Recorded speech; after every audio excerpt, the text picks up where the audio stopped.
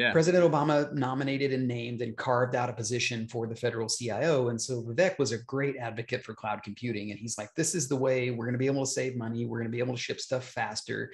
It Yeah. you can't have a responsive government without embracing cloud computing. And White House, while it's super visible, like everybody anywhere knows about the White House and all this stuff that's going on and who the president of the United States is and whatever. But the agency is tiny. It's like a thousand people. And the budget for the IT is like dwarfed by all these other civilian Sure. agencies, you know.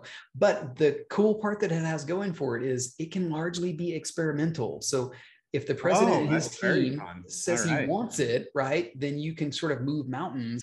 The second platform in the door was Salesforce. The first one we were lucky to be able to subcontract out Amazon Web Services for whitehouse.gov. Cutting edge DevSecOps for the government is a Mhm. thing that's not well known or done right now. And like I am in really enjoying using new tools and fresh approaches on this stuff and sort of teaching the government how to do this. And I think a missing critical vulnerability for us at the moment, especially in terms of software we're building that any citizen or immigrant is ever going to touch, is the design piece. Like do the HCD human centered design work up front that you need to to really understand what software we're building before we even ship on if for the the tech engineers out there it's like don't be afraid to raise your hand in a meeting and you know Right. take a leadership role but also don't be afraid to like pull the parachute ripcord out of government and go try something radically different